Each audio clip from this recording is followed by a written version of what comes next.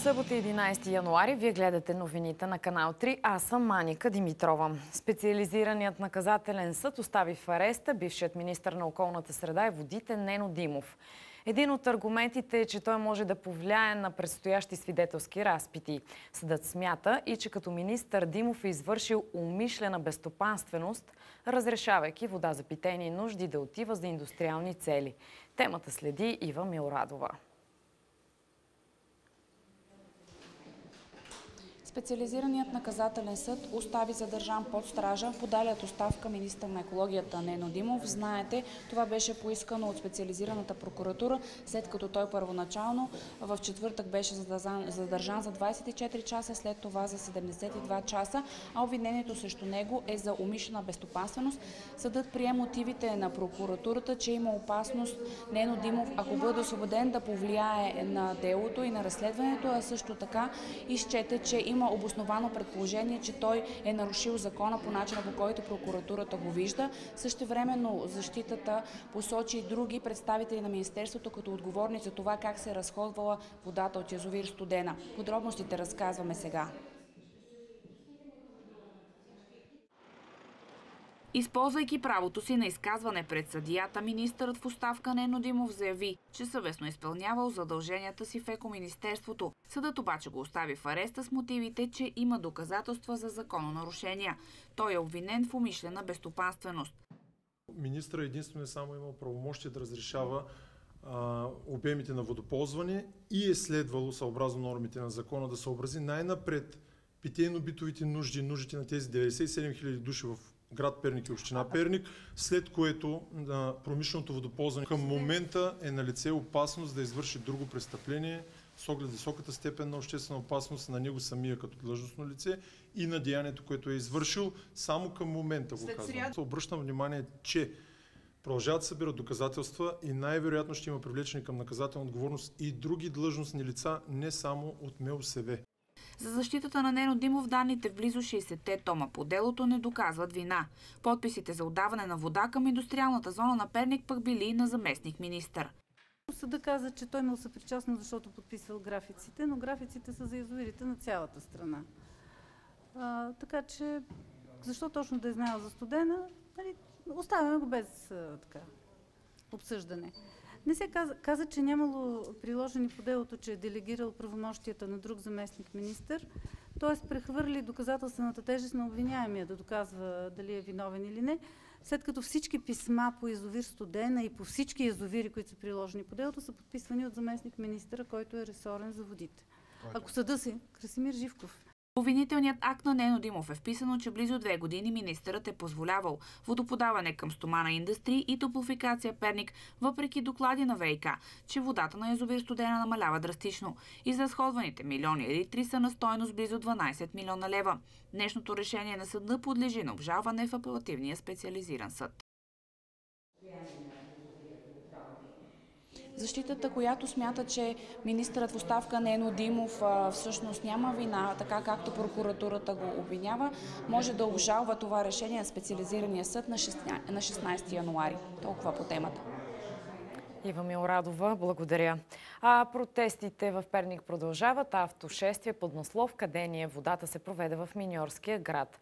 Колоната автомобили премина по главната улица до село Студена. Въпреки арест и оставката на министъра на околната среда и водите Нено Димов, перничани заявиха, че няма да спрат протестите си, тъй като водната криза в града продължава. Недоволните настояват всички отговорни, както от централната, така и от местната власт, да получат ефективни наказания и още трайни решения за снабдяването на Перник с вода, механизми за данъчни облегчения на засегнатото от безводието население и нормативни промени в ВИК сектора. 18-годишно момиче беше намерено с прерязано гърло в село Галиче. Тялото е открито тази сутрин в двора на къщата на семейството. Бащата на момичето работи в чужбина, а майката е напуснала семейството. То е живеело само. Разследването е поето от криминалисти от столицата. И към една тема с продължение. Грипната вълна продължава да обхваща все повече градове в страната. Засегнати са вече пет области, а пикът се очаква в края на месец януари. Специалистите отчитат, че грипният вирус се разпространява с бързи темпове и обхваща все повече хора от различни възрасти. Вече са засегнати областите София, Бургас, Ливен, Русе и Смолян. Има засечени вируси и от тип А, и от тип Б. Върлуват щамове с екзотичните имена Бризбейн, Виктория и Канзас. В болниците има настанени и пациенти, които вече са с осложнения – менингит, енцефалит и пневмонии. Най-уязвими са децата на възраст между 1 и 5 години. Вирусната инфекция започва с типичните симптоми – висока температура, болки в гърлото, кашлица, хрема, отпадналост, болки в мускулите. Лекарите припомнят, че антибиотиците са неефективни при вирусни инфекции и за това трябва да се прилагат противовирусни препарати и симптоматични средства за борба с болестта, а до антибиотик да се прибягва при настъпили осложнения. Силната храна и разходките на открито засилват съпротивителните сили на организма. Според епидемиолозите, въпреки разпространението на грипната вълна, за епидемия е рано да се говори. Най-много болни от грип се очаква да има в края на януари и първата половина на февруари. Нивото на безработица в България е най-низкото от 2000-та година насам. Това написа в профила си във Фейсбук премьерът Бойко Борисов. Според социологическите данни за ноември месец миналата година има спад в броя на хората без работа с до 3,7%. Младежката безработица в страната също намалява до 7 на 100. Премьерът заявява, че правителството ще продължи с ефективните действия, за да има добри условия на пазара на труда. НАП с рекордни постъпления от налози за 2019 година. Приходите в хазната са близо 24 милиарда лева. Това сочат данните на приходната агенция. Сумата е с рекордните 2 милиарда и 800 милиона лева повече спрямо постъпленията през 2018 година и с около 628 милиона лева над планираното. Данъчните приходи възлизат на 13 милиарда и 300 милиона лева, като от данъка върху доходите на физическите лица в хазната са влезли над 3 милиарда и 600 милиона лева. Постъпленията от корпоративни данъци са 2 милиарда и 800 милиона лева, а приходите от ДДС възлизат на 6 милиарда и 800 милиона лева. Осигурителните вноски, постъпили в бюджета, са общо 10 милиарда и 300 милиона това число над 6 милиарда вноски за държавното обществено осигуряване, над 2 милиарда здравноосигурителни вноски и милиард и половина за допълнително задължително пенсионно осигуряване. Увеличението на приходите от данъци значително изпреварва ръста на брутния вътрешен продукт. Отчетено увеличение както на доброволно внесените суми, така и тези в производство по събиране а от приходната агенция увериха, че ще запазят фокуса си към подобряване на общественото доверие и справедлива среда за правене на бизнес. Към темите от света. Земетресение с магнитуд 4,7 по Рихтер беше регистрирано в Мраморно море в близост до Истанбул. Трусът е бил на дълбочина 7 км. За сега няма информация за ранени хора и за нанесени материални щети. Земетресението е усетено и у нас в Бургаска област. През септември миналата година десетки хора бяха ранени при силно земетресение с магнитуд 5,8 по Рихтер край Силиври. Сурово време в Гърция. Сняг, дъждове и силен вятър в югозападната ни съседка. Най-интензивни са валежите и снежната буря в северната част на страната. Снежна покривка от 1 см пък стана причината да останат затворени части от магистрала и няколко междуградски пътя. На места по островите поревите на вятъра достигаха до 150 км в час. Страховит пожар от 600 000 хектара и масова евакуация в Австралия. В някои части на страната се очаква температурите отново да надхвърлят 40 градуса по Целзий. Властите в Австралия призоваха близо четвърт милион души да напуснат домовете си. В помощ бяха мобилизирани и военни. Причината – високите температури и променливи ветрове, които продължават да разпалват горските пожари по източното крайбрежие. Според синоптиците в някои части на страната се очаква температурите да достигнат над 40 градуса по Целзий. В същото време два огромни пожара в планински район на границата между щатите Виктория и Нов Южен Уелс се сляха в един мегапожар с площ от близо 600 000 хектара. За този мегапожар преди няколко дни предупредиха от Американската космическа агенция НАСА на базата на спътникови изображения. Бедственото положение в района е удължено с 48 часа. Има разпореждане за евакуация на населението в районите граничещи с щатите Виктория и Нов Южен Уелс. По последни данни на територията на щата има над 130 пожара, като около 50 са извън контрол. На фона на това продължават и протестите на десетки хиляди хора в Сидни и Мелбърн, които настояват правителството да засили борбата срещу глобалното затопляне и да прекрати безусловната си подкрепа за въгледобивната промишленост, допринесла значително за економическия възход на страната, но и за влушаване на екологичната ситуация. Според експерти, сегашната криза е предизвикала безпредседентна в историята на страната кампания в подкрепа на идеята, че пожарите не са свързани с глобалното затопляне. Президентът на Украина Володимир Зеленски поиска от Иран да накаже отговорните за свалянето на украинския самолет и да изплати компенсациите. Призивът дойде часове след като Техеран си призна за трагедията с украинския самолет. Властите съобщиха, че машината е била свалена непреднамерено край Техеран. В изявлението се отбелязва, че причина за трагедията е станал човешкият фактор. По думите на президента Хасан Рухани, иранските сили са очаквали атака от страна на Съединените щати и за това са свалили самолета. Държавният глава изрази и съболезнованията си на семействата на жертвите на този, цитирам, ужасен инцидент. В изявлението си иранският президент съобщава още, че виновните за тази непростима грешка ще бъдат подведени под отговорност. Пътническият самолет с 176 души на борда се разби в понеделник сутринта, малко след излитането си. В разследването участват международни екипи, а преди ден няколко държави, сред които и Съединените Американски щати заявиха, че разполагат с доказателства, че самолетът е бил свален от ракета.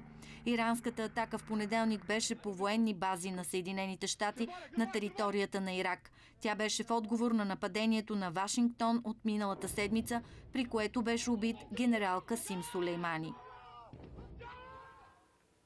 Отново у нас за втора поредна година стартира младежката програма Тин Новатор. Инициативата е насочена към ученици, които искат да се развиват в сферата на предприемачеството.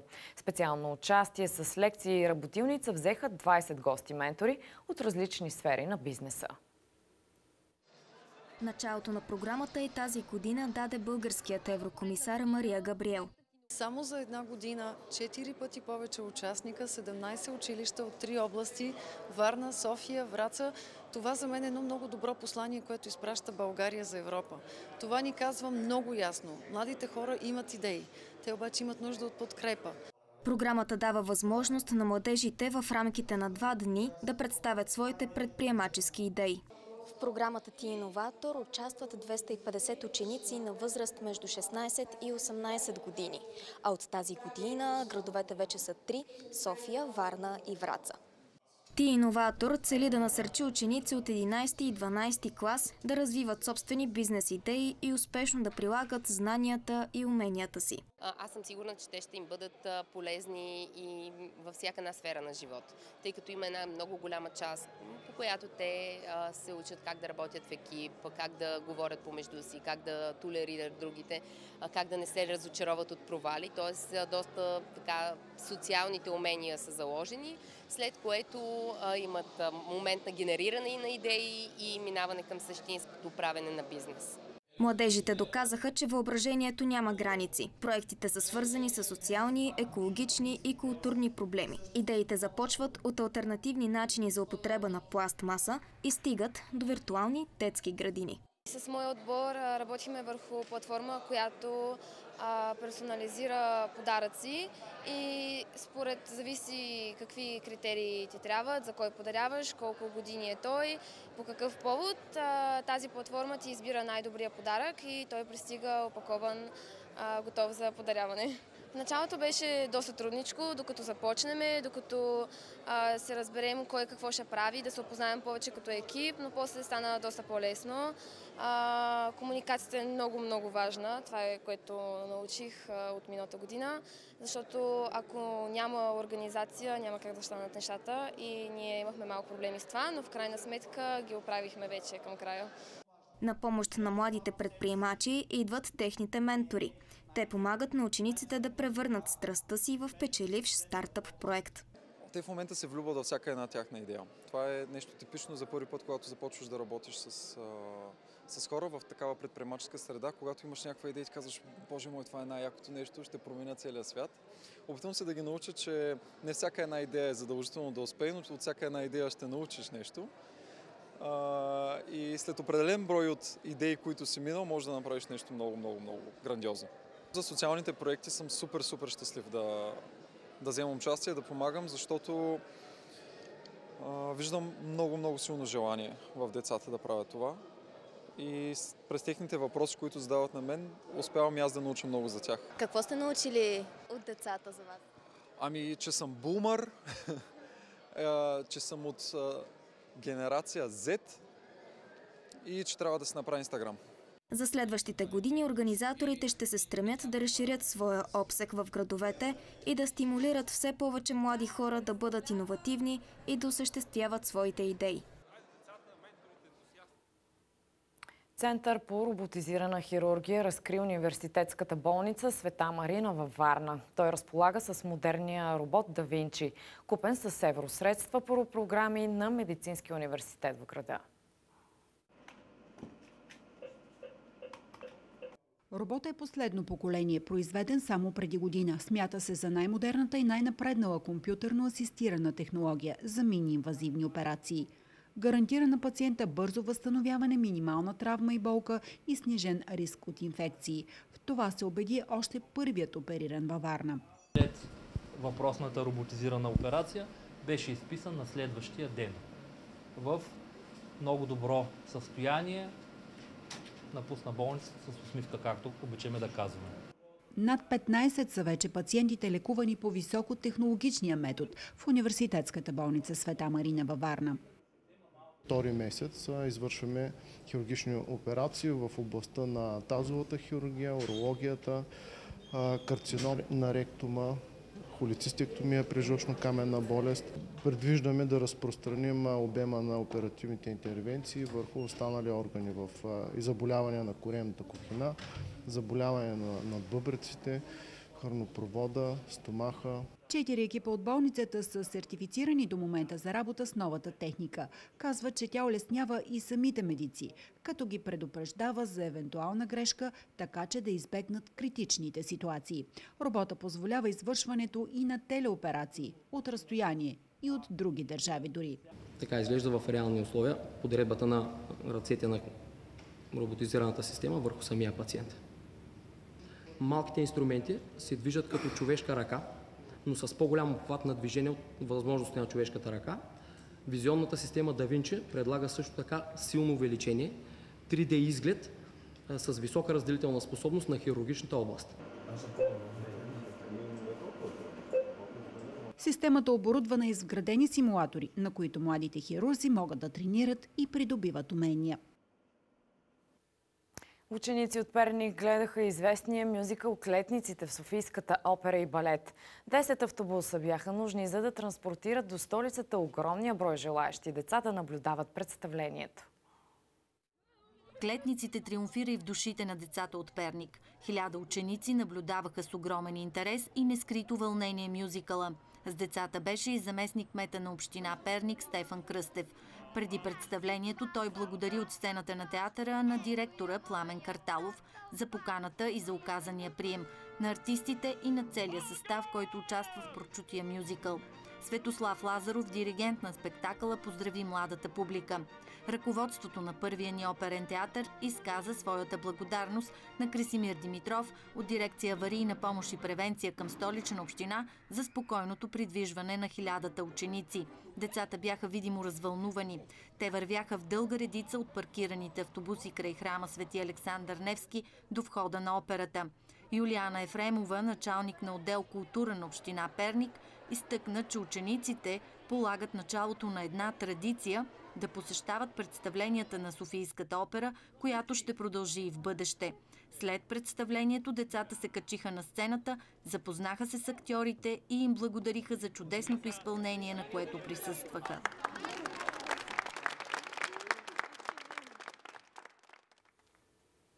Така се разделяме новините в развитие. Следете на сайта ни канал 3.bg. Спокойна вечер!